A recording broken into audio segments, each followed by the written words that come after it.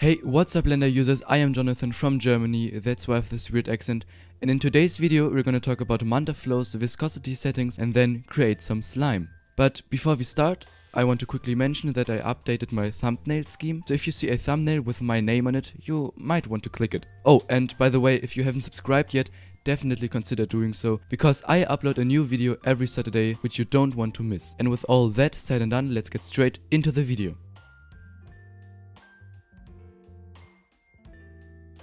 So for this video I'm using the newest build of Mantaflow which should be the one from October 27th because this build has some serious issues with the smoke solver but not with a fluid one you can just use this to follow along with this tutorial. So to start I'm just gonna set up a simple scene with a domain object right here and I'm gonna scale this up by 2 and also move this up by 2 so it sits on our ground plane and then I'm gonna go first into wireframe mode and add a little sphere so we can just have an inflow object. Okay, now when I set up my domain, we can see that there are, first of all we have to change it to liquid, that there are some viscosity presets under the diffusion tab right here. So we have honey, oil and water. We can already see that if we choose water, the base is a lower number, which is 1, and the exponent has a higher number of 6 and if we change this to honey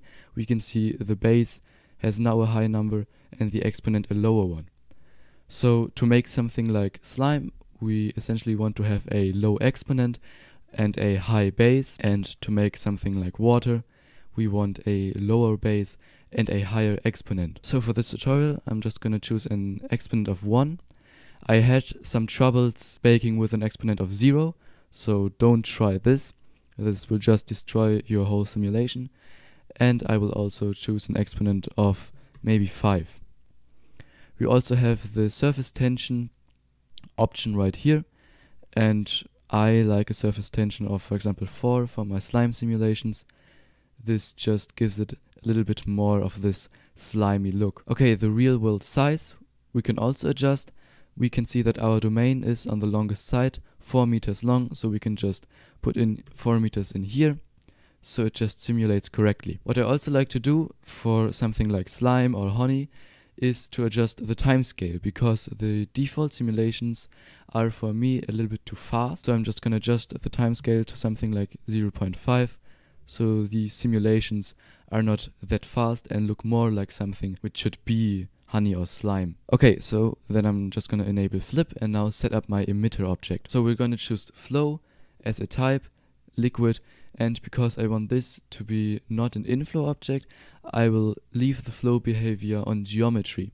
This means this will, on the first frame, emit a lot of fluid, which should essentially drop down to the bottom, and there will be no more fluid input over the time of the simulation. To make it a little bit more interesting, I'm just gonna add some animated objects in the scene, for example a little sphere right here, which I'm just gonna move up and then animate. For this I'm gonna use the noise modifier. So I set a keyframe on location and then go into the X location, press N to enter the N panel and add a noise modifier.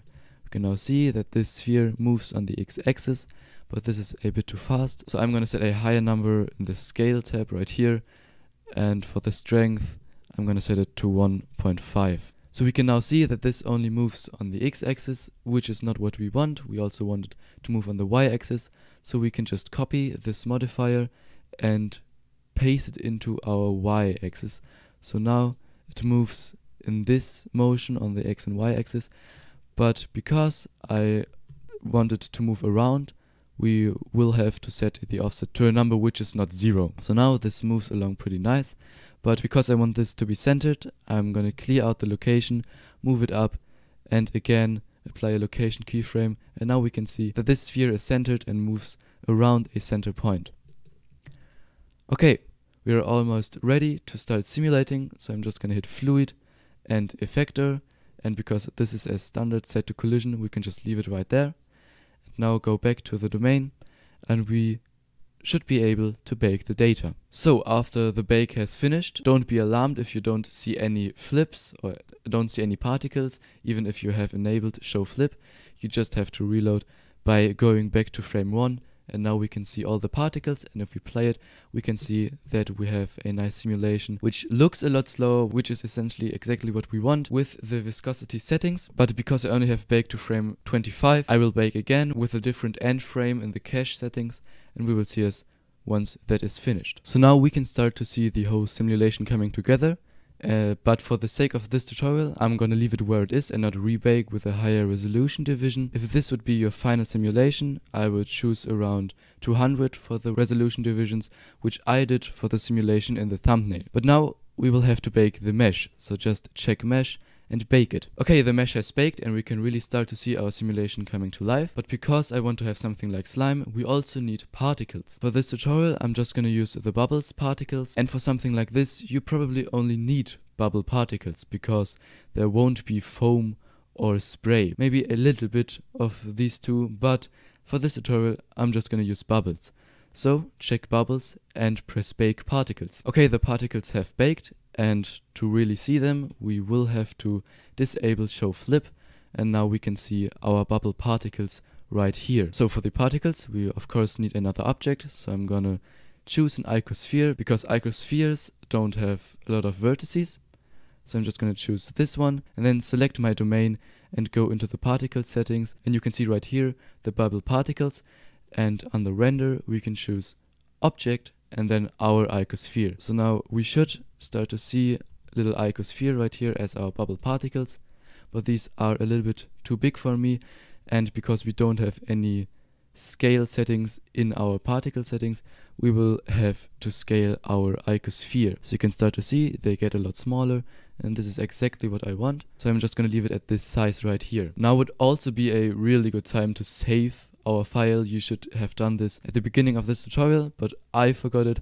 So don't be like me, save when you start your project. Okay, so now we're gonna have to do the different materials. First, select your fluid simulation and choose under viewport display display as solid. This will now not display in the viewport, but if you go into rendered view, you will be able to see your mesh.